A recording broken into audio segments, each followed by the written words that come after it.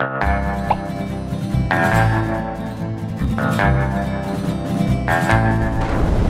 so this is the site your government wants to attract us to with massive subsidies. I don't know what this new factory will bring to the area. Be nice if it brought some self-respect. Most of these lads, they haven't worked for a year, two years. What's he going on about, a silly old fart? I'm sorry, fellas. We didn't get the job. We're gonna show you what nasty banditos do,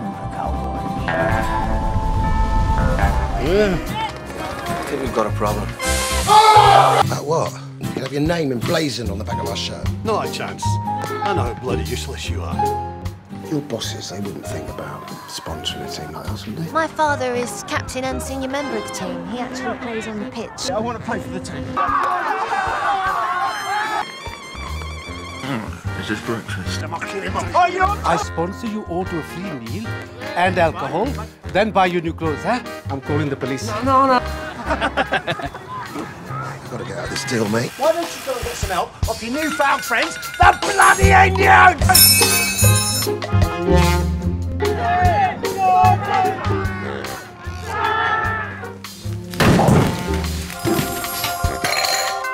You're late with this month's money. You don't frighten us. You wanted us to help you stop paying racketeers. Those people are bloody maniacs. It's our mascot. It's a tomato.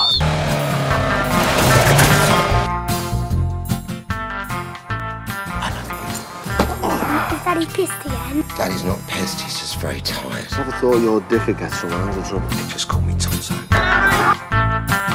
You know, I thought you'd listen to me, considering you and me go back a long way. I've never seen you before in my life. Tiled your bathroom.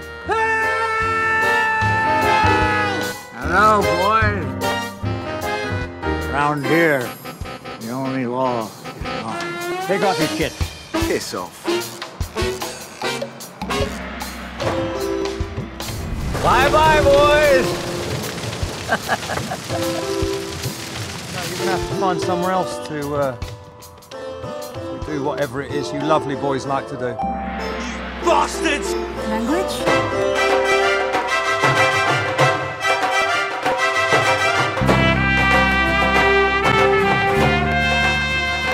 Come on, the cowboys!